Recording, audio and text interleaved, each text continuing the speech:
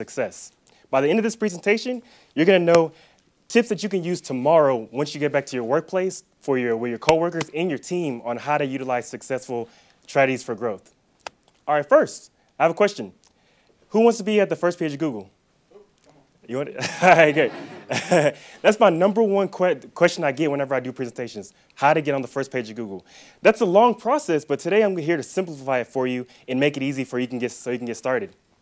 First step is keywords, getting those keyword phrases right. So example of a keyword is, let's say if I have a technology company in Kansas, one of my keyword phrases will be Kansas Technology Company or a software company in Kansas City.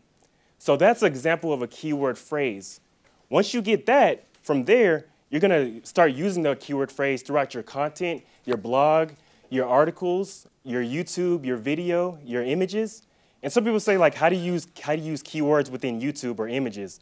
Well, whenever you upload a video to YouTube, you're able to change the title. Of course, people know that you need you to change the title. So why not use some of those keywords that you thought of in that title or in that title of the in that description of that YouTube video?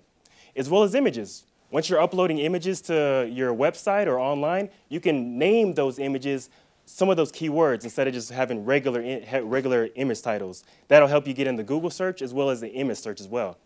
Really, really useful tips, really quick. You can start using that tomorrow whenever you get back to the office.